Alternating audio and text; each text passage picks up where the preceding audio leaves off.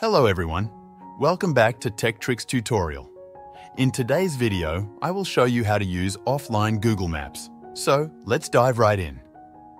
First, open up Google Maps on your device. To use Google Maps offline, you need to download the map of the area you want to use. Start by going to the top right corner of the screen and clicking on your profile icon. From the menu, select Offline Maps. Next, click on Select your own map. You'll now see a box on the screen that you can move and resize to choose the area of the map you want to download.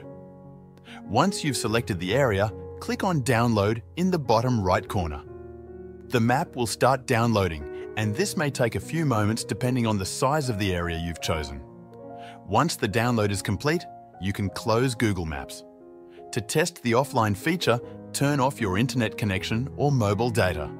Then open Google Maps again.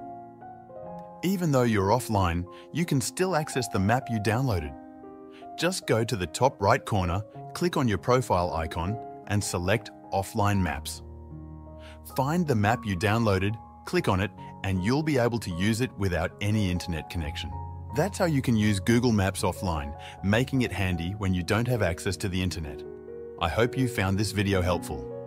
If you did, subscribe to the channel for more content like this, and I'll see you in the next video. Thank you for watching.